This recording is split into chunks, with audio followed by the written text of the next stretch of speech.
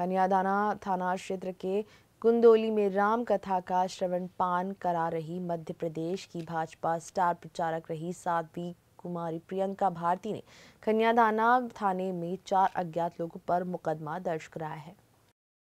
जानकारी के अनुसार प्रियंका भारती खनियाधाना थाने में शिकायत करते हुए बताया कि वह आज शाम अपने साथी भाई इंदर सिंह राजपूत के साथ ग्राम कंदोली से रामकथा कर बाइक से लौट रहे थे। तभी नहर की पुलिया के पास दो बाइक पर आए।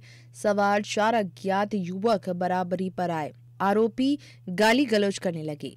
प्रियंका भारती की ग्लेवान पकड़ ली। इस बात का जब साध्वी प्रियंका भारती ने विरोध किया तो आरोपियों ने पिस्टल तान दी। प्रियंका भारती ने भागकर अपनी जान बचाई। प्रियंका भारती ने विधानसभा चुनाव के दौरान पिछोर विधानसभा में भाजपा के प्रत्याशी प्रीतम सिंह लोधी का प्रचार किया था। घटनाक्रम में किंदौली से आ रही थी रास्ते में तो आज मैं बाइक से एक जगह चाय पीने के लिए जा रही थी तो अज्ञात चार लोगों ने, एक लोगों ने आकर के पहले गाड़ी को रोका और अवध भाषा में दूसरे ने आके मेरी गलेवान को पकड़ा गलेवान को पकड़ करके कहा कि यही प्रियंका भारती है जो मध्य प्रदेश बीजेपी की प्रचारक है। इसी की बदौलत आज हम पिछोर विधानसभा में हारते हारते बचे हुए हैं। आज इसी को गोली से मार देना चाहिए। वहाँ आया चार दो बाइक खड़ी थी और चार बंदे उस पर थे। मैंने ये नहीं देखा कौन है मुझे कोई पता नहीं। उन्होंने डायरेक्ट बहन जी की गलेबान पकड़ी धीरे गाड़ी की उन्होंने बोला धीरे करो। गाड़ी धीरे करी बहन जी की गलेबान पकड़ी। उन्होंने एक लेखी आवेदन पत्र प्रस्तुत किया है।